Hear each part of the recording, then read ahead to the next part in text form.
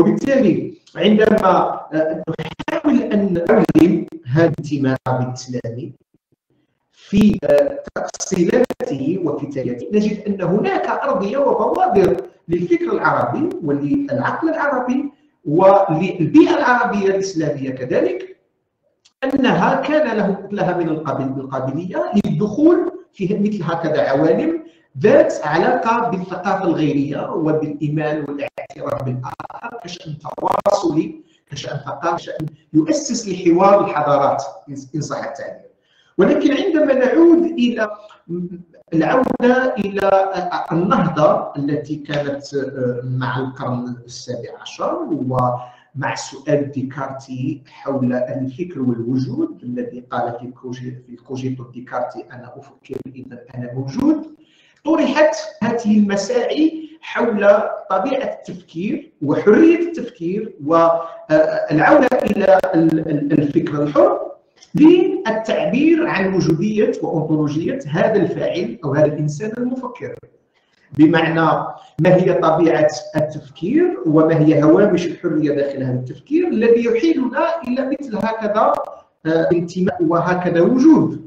وبالتالي عندما اعود مع آه، آه، اركون يقول أن ازمه الانسنه وهي أن التي يعرفها دعوني أعرف معكم منظور أركون للانسنه وهو يقول احترام الإنسان للإنسان وحماية الإنسان للإنسان. بمعنى لا يحاول أن يلهم تلوينات ثقافيه أو عرقية أو إيديولوجية سياسية أو انتمائية بقدر ما يحاول أن يعيد لنا هذه الاصيله وكأننا آه، لا نبتعد كثيرا آه، عندما نقول أن الطبيعة مثل ما طرح آه، جون جاك روسو في التفاوت بين البشر أو بين الناس ويقول شيء طريف في المسألة يقول أن الإنسان هو أغبى الكائنات. لماذا؟ قال لأنه يستعمل عقله. بمعنى آه، لماذا يقول أن العقل أحيانا يحيلنا إلى نوع من الانغلاقية وأحيانا من اللا تواصل في منظور بطبيعة الحال في منظور آه، جون سارت عفوا جون جاك روسو لماذا سيطرح التساؤل؟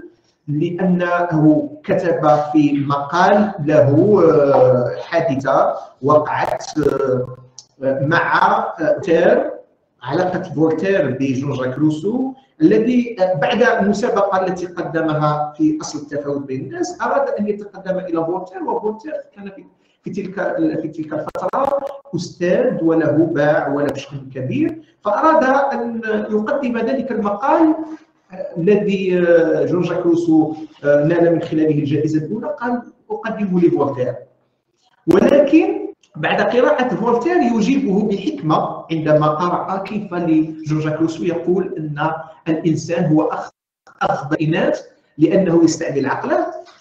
في الكتاب يجيبه فولتير يقول له لم أجد أحد من قبلك استعمل عقله مثل استعملت أنت عقله. بمعنى وإن طرحت فكرة العقل أنه يحاول أن يقدم نوع من السياجات كما قال أركون ولكن في هذه الأطروحة يقدم له فولتير أنه لا أحد قدم لك لا أحد قدم فكرة حول العقل مثلما قدمت أنت. وبالتالي عندما أعود إلى الشأن العربي لماذا لا نعود إلى إشكالية العقل وإشكالية الفكر الحر؟ لأن نحن نعلم أن هيجل قال ما يجعل عصرنا عصرا عظيما هو الاعتراف بالهي وبملك يعني الفكر. بمعنى حنعود إلى فكرة الحرية وفكرة المعرفة ووضع الانفتاح في هذا الشأن يتحدث عن هذه النقطة. قال لابد أن نعود إلى هامش الحرية وطبيعة الحرية التي يحاول من خلالها أن يتمول الإنسان. بالتالي عندما أعود مع السياجات الدغمائية التي تعيق هذا هذه السنة وتعيق أيضا هذه الحرية التفكير. وبالتالي أن مشكلتنا هي مشكلة هذا الخيال الاجتماعي وهو يستعمل مفهوم ليماجينير مفهوم الخيال بمعنى هذا المخيال بالسياجات الدغماتيه تمنع من النظر الآخر وتمنعنا التواصل مع الآخر وفق اختلافات وفق مبدأ التنوع والتعدد وفق مبدأ الانصات والمحاكاة. الثقافيه إلى غير ذلك. بمعنى عودة إلى إشكالية الأفكار العرب أريد أن أطرح سؤال هامش آخر وهو لماذا هذا الاختلاف في هذا النظر في نوعا ما هو هذا العقل؟ هل نريده بمسي المشارقية أم بالمغاربية أم بالنوناعيه غير ذلك؟ وكان أمامي مجموعة من الأسماء كنت تحدثت عن محمد عبد الجابري تحدثت على كون وسأعود لأناقش أو تحدثت عن المفكر هشام الغصيب وجورج طرابيشي كتب نقد نقد العقل العربي الذي كان عن رد وهي عبارة عن تبادل أفكار نقدية. بين المفكرين يحيلنا في هذا الأمر مسألة الانسنه بمعنى تحديات اليوم التي يحيلنا إلى الدخول نحو مجتمع تاريخي مفتوح وهو أن هل نؤسس هل نحن نؤسس لعقلانية تؤمن بالحرية وتؤمن بالتفكير كإتيقة للمناقشة والتواصل وهل نحن لدينا من الأرضية التي تعود إلى التأصيل الإبستيمي لما نفكر فيه؟ بمعنى إذا كنا نفكر في مساعي الوجود في مساعي الانتماء إلى هذه الحضارة الإنسانية هل لنا هامش من هذا التفكير؟ وهل لنا مقاربة وهل لنا امتولاتنا بمعنى باراديغماتنا وهل لنا تأصيل المعرفية؟ ربما من بين التحديات التي تؤسس للعقل. ما أراه وهو أننا نعاني أحيانا من ما يسمى بالتشرذم والتشظيات في تاريخية هذا التفاعل بمعنى عودة إلى الركام المعرفة إلى هذا نحن نعاني من التشظيات بمعنى تاريخيا لا ننتمي إلى عقلا تاريخيا تواصليا. ولا ننتمي إلى الإنصات والاستئنافيه بالتالي نحن لا نعيش لحظات الحاضر الماضي والحاضر الحاضر والحاضر المستقبل. ولكن نحن نعيش حالة من التقطع. وكان ابن خلدون التي أسمها بالنظرية الصفرية التي تجعلنا نتعصب أو نعيش حية معينة بالتفكير في معينة نعيش حالة من البلاوة في حالة من الترف ثم نعود إلى التفكك العصبي الذي يحيلنا إلى العودة من جديد إلى هذا النهوض. وكأننا نعيش حالة من الشأن الضائري الشأن آه، الصفري آه، في ابيات أخرى تسميه الصفرية في مسائل هذا التطور. مع مع آه، علي حرب وهو المفكر اللبناني. في حياه الإنسان. شهر من التفكير. لا يمكن أن نسمي فكرا عربيا أو نسمي عقلا عربيا. إلا بد أن ننتمي انسانا لماذا؟ لأنه يقول أن آه، آه، الأفكار الخصبة لا جنسية لها. بمعنى عندما نحاول أن نبتعد من الجنسية الهوية وننتقل إلى كوننة المعرفة.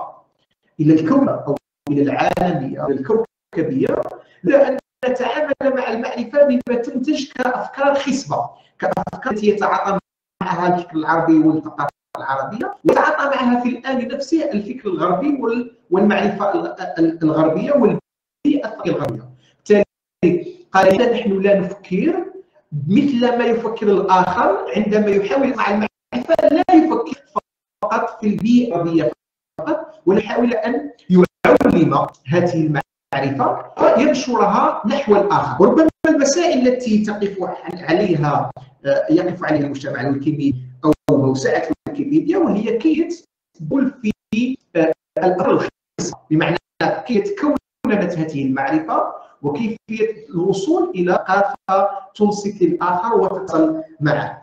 بمعنى عندما أعود إلى سؤال المرئيه الإنسانية أو اورقه الفكر الإنساني آه، جاءت الحداثه تقدم لنا شيء آخر؟